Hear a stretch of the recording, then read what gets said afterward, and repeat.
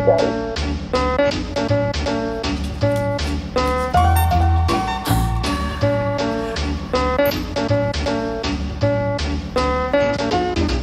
I haven't even left yet, and already the worst thing possible has just happened.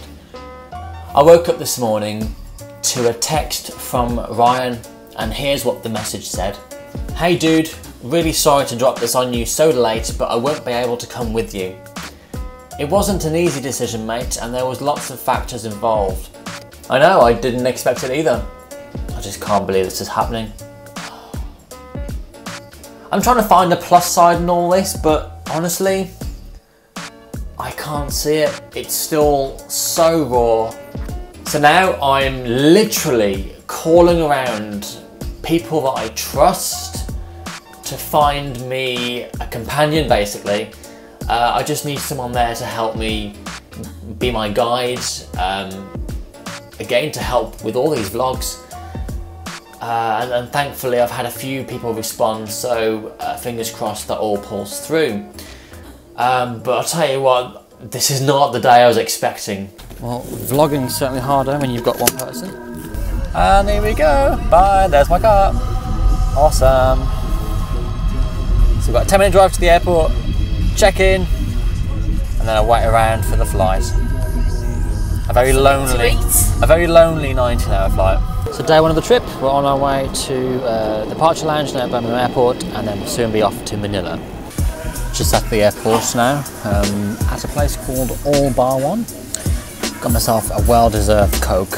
My mouth is so dry. And I'm feeling a little lightheaded as well, so I could do with some food, so I'll probably grab something snacky.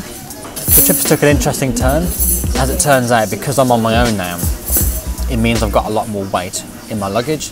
So I had to pay extra uh, for the oversized, overweight luggage. This trip is off to an awful start, if I'm honest. But hopefully it'll get better as time goes on. So I'm just sat now at the gate, my gate number 44. Um, we're with Emirates and we start boarding in about, I don't know actually, in about an hour. Hopefully here on in the journey is going to be much better and the experience will be much more positive. Uh, still feels a little weird just talking to camera out in public, but I'm sure I'll get used to it over the next week. Um, Because let's be honest, a lot of people don't really care that I'm doing it, they just find it interesting that I'm doing something like this. I don't think the flight's full, so hopefully I'll have a chair spare next to me. So um, don't get me wrong, I'm quite happy to talk to people, but when you've got a long flight, I just like to be left alone.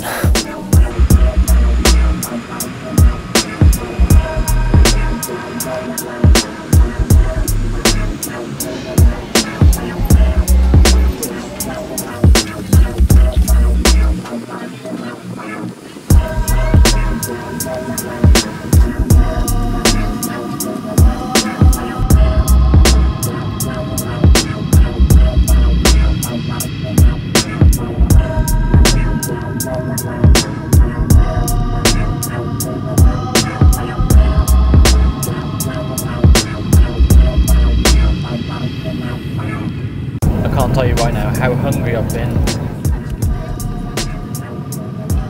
Right now I'm at Dubai Airport. Right now chocolate is like the most amazing thing I've ever had.